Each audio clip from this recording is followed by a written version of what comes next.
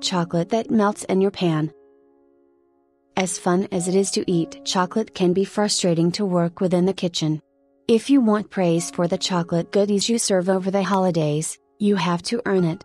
Even a seemingly simple maneuver like getting chocolate to melt just right can be difficult. How to make chocolate that melts. Keep your utensils and pans dry, and even use rubber spatulas instead of wooden spoons that can retain moisture. Chocolate that takes on water can seize, or get lumpy, which is precisely what you do not want to happen. One method that is nearly foolproof for the neophyte chocolate melter is the double boiler method, which works along the same lines as a chafing dish. Heat a pan or pot of water and put a shallow glass or metal bowl over the pan. Work the chocolate with a spatula. This warms the chocolate slowly, avoiding scorching from direct heat. You can always use the microwave, too, but don't heat chocolate as you would other foods. Use medium power, remove the chocolate from the microwave well before it's completely melted and work it with a spatula, yeah, a rubber one.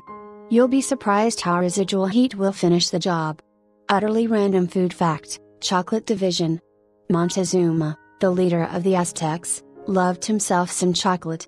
Some estimates say he drank 50 to 150 cups a day.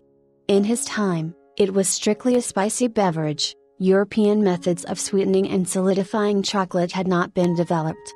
No word on how he slept after slogging down all that caffeine, although the Spanish conquistadors probably had more to do with making his nights restless.